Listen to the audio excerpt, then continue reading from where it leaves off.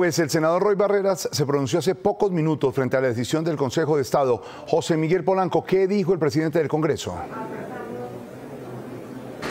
Jorge Alfredo dijo que cayó en combate, que esta es una decisión que se le adelantó, recordemos, por el estado de salud y que respeta los fallos judiciales. ¿Qué viene ahora para el senador y el presidente del Congreso de la República? El Consejo de Estado tiene que notificar a la Secretaría General y a su abogado. La Secretaría General lo envía a la Comisión de Ética, la Comisión de Ética emite un dictamen y ese dictamen es enviado a la plenaria del Senado para que la anulación de la, de la elección del presidente del Congreso se anulada. Escuchemos lo que dijo el presidente hace contados segundos.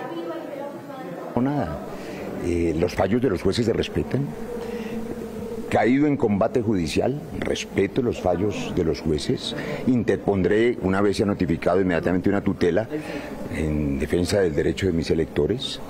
Regresaré, pero en todo caso, eh, se ha anticipado unos días el retiro que yo había anunciado hace meses a propósito de mi situación médica. Igual tenía necesidad de por lo menos un par de meses de retiro para la posible intervención quirúrgica a la que debo someterme, que se decidirá, como ya he anunciado, el próximo 22. Entre tanto, hará curso la tutela, pero los colombianos saben que este escenario no es el único en que se le puede servir a la patria. Y una vez te expulsan de un partido, pues no estás militando en él. Parece apenas lógico que si no militas en un partido y no estás en ninguno, tienes derecho a aspirar a elegir y ser elegido. Parece obvio.